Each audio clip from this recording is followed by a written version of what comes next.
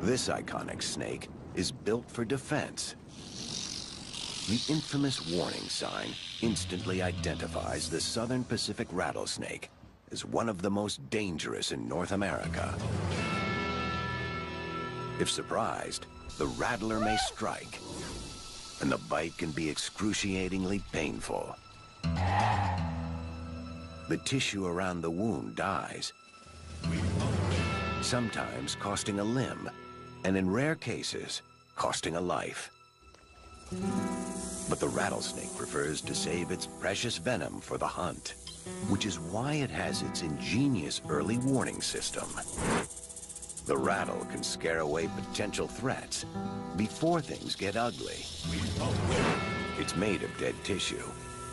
Each time the snake sheds its skin, it adds a new ring to the device, making it longer and louder.